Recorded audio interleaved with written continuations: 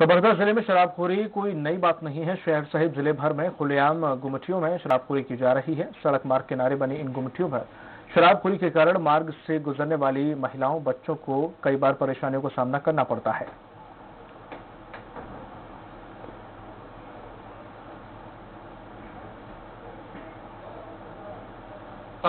बार बार खबर सुनने को मिलता है, पढ़ने को मिलता है और हम देखते भी हैं। कि गुमटियों में लगातार शराबी बैठ के वहीं पर दारू पी रहे हैं और शराब पी रहे हैं।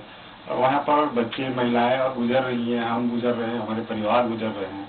इससे प्रशासन को कड़ाई करना चाहिए अबकारी अधिकारियों को इस पर कार्रवाई करनी चाहिए। छत्तीसगढ़ में कांग्रेस की भूपेश सरकार शराबबंदी करने के बाद कहकर सत्ता में आई है और गली गली शराब बिकवा रहे हैं। गुमटी ठेले अहाते जितने भी हैं, वहाँ लोग बैठ के सार्वजनिक स्थल पे।